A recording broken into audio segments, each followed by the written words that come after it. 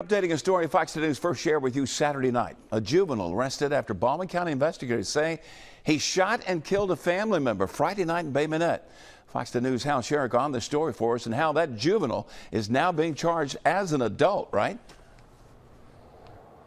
That's right. He was charged as an adult, but investigators are telling me because he was 17 at the time of this shooting, he still could be eligible for youthful offender status. So they are not releasing his name or his picture. Investigators did tell me they believe the shooting was an accident. The victim, his own brother. Now, this happened around 7:30 Friday night inside the family home on Nicholsville Road.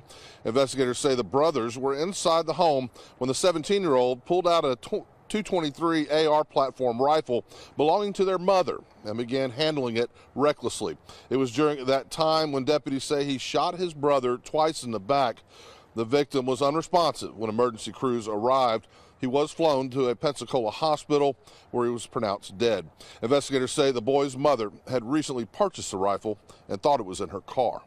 If you're going to own a firearm, uh, it's very important that you keep up with that firearm to start with and that you know where it is and that you also secure that firearm that, that uh, somebody just kid or whatever can't just grab the gun and, and run off with it.